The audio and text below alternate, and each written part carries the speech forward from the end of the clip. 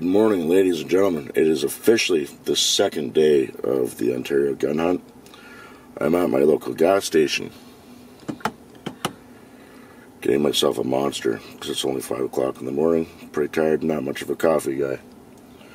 Just checked the cameras from last night. We had a cold snap. Went from plus 22 two days ago to right now it's minus 3. And I have a nice 8 point buck at the tree stand right now. So I'm going to keep my fingers crossed. I'm going to run in, get myself a monster. And then we're going to be on our way. It could be a good day. The high for today is only plus 7. So let's get this monster and get in the woods quick. Be right back with you. Bye bye. Alright, that was super quick. Everybody's lined up for Timmy's. I'm not getting Timmy's. Got myself an extra large monster for this morning. I'm going to be out there all day right till dark. Let's get the truck turned around and get this day started.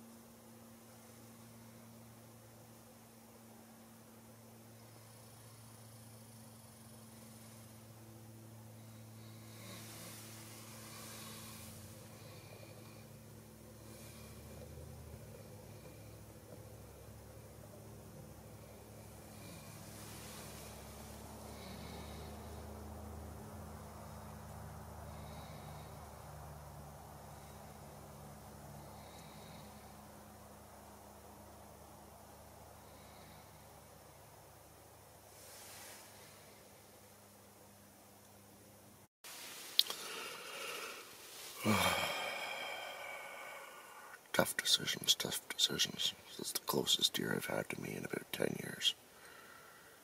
And I let him go because he was small. Probably a dumb decision. I have so many bigger, well, not so many, I have three bigger deer on camera in the last two days, but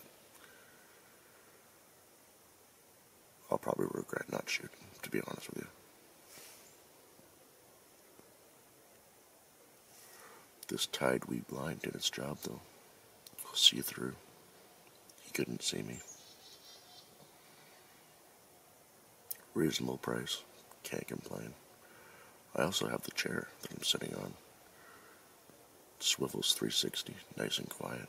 Nice and cheap. Not sponsored by them at all. Just seem to make half decent stuff at uh, a really reasonable price. This little buck is still only 30 yards away from me. I'm just, it's only the second day of the gun hunt. And I only got one tag this year, so. That was a tough one. That was a tough one. I'm gonna end up kicking myself for this. But it's only 8 o'clock in the morning.